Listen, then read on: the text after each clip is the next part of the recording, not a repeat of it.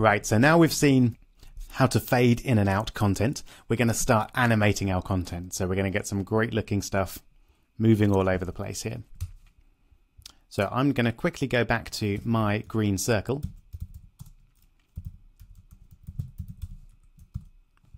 There we go. And we'll add the CSS back in. So width of 150 pixels, height of 150 pixels, border radius 50%, and background color green. There we go. So let's animate this circle. First off, once again, to make sure that it's completely in your head, can you set up a function that does something, I don't care what, when the circle is clicked? Go for it.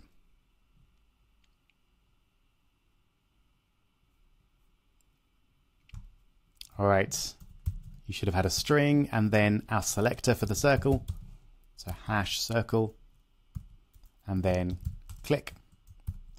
Then we want to add a function with parentheses and then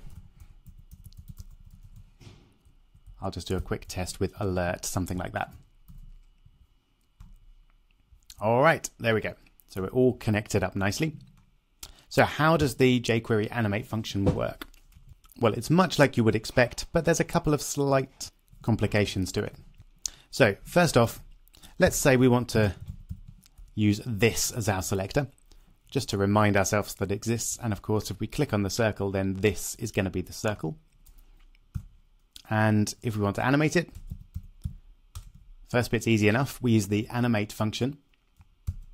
And then we have to put some properties in. First off are the CSS properties that we want it to have at the end of the animation.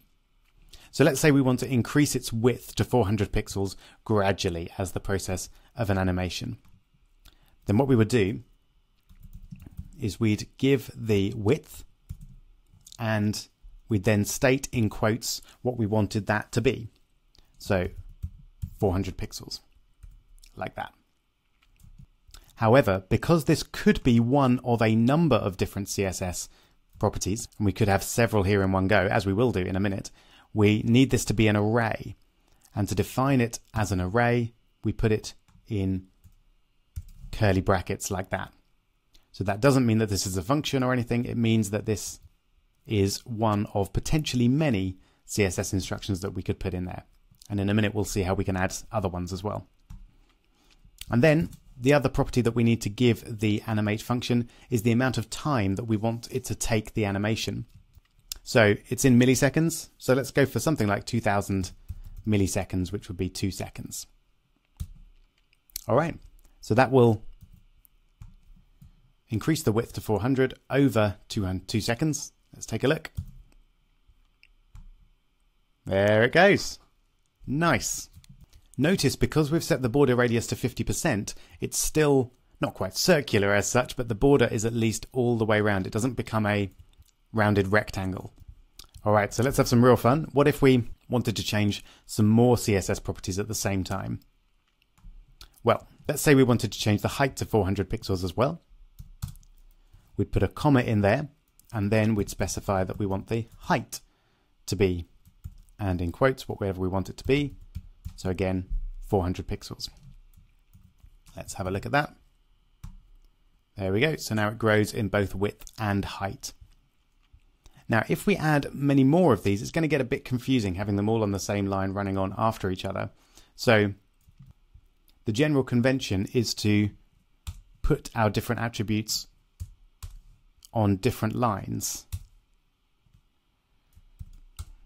like that. And that's just a lot easier to read. We can see the different attributes that we're changing and add them or remove them very quickly as necessary. So remember, you always need a comma in front of them. Let's say we wanted to move it around a little bit as well. So we'll change the margins. Now, we use the JavaScript names for CSS properties here, not the CSS name. So instead of margin dash left, we use margin and then left with a capital L. They're pretty easy to translate. Just whenever you see a, a hyphen or a dash, take it away and then capitalize the word after it. So margin left, let's change that to 100 pixels. And let's add in margin top of 100 pixels as well. All right, let's take a look. There we go. So it's moving and growing at the same time. All right, so feel free to mess around with that and change the animations as you wish. One final little challenge for you is can you figure out a way to, let's say, change the background color of this circle to red the moment the animation completes? Go for it.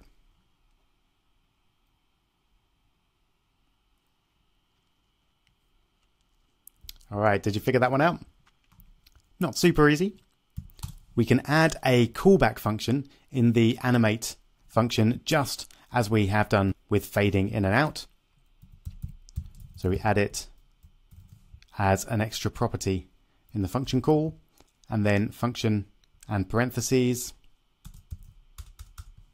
and then our curly brackets to contain whatever code we want to happen when the animation is complete. And the thing that we want to do is to set the background of this thing to red so let's select it again using this and we set the background to red using CSS and background color and red.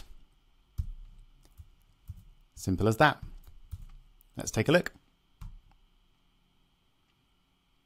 Wonderful.